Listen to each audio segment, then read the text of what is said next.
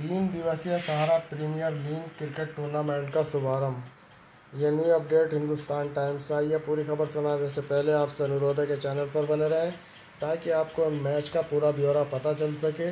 पूरी खबर यह है कि जरमुंडी प्रखंड अंतर्गत सहारा हेलीपैड मैदान में शुक्रवार, गुरुवार को तीन दिवसीय सहारा प्रीमियर लीग टूर्नामेंट खेला गया।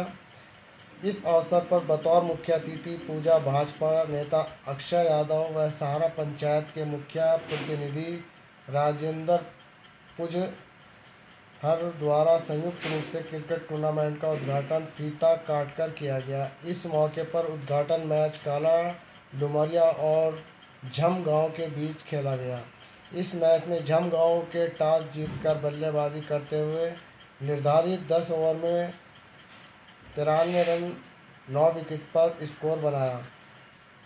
गाँव के विरुद्ध जवाबी पारी खेलने उत्तरी काला डुमरिया की टीम ने निर्धारित लक्ष्य का पीछा करते हुए विरोधी टीम को मैच को नौ विकेट से मैच को जीत लिया। काला डुमरिया की ओर से सुनील को सर्वाधिक तिरप अट्ठावन रन बनाकर नाबाद पारी खेली। सुनील को match of the man of the match चुना गया। क्रिकेट टूर्नामेंट के आयोजन को लेकर सहारा नौ युवक संघ के संतोष कुमार यादव, बंटी यादव, संटी, समीर, चंदन, कमाल, पवन, लालू, मिट्टू, नीलांशु, बिट्टू, गौतम व अन्य महत्वपूर्ण भूमिका में हैं।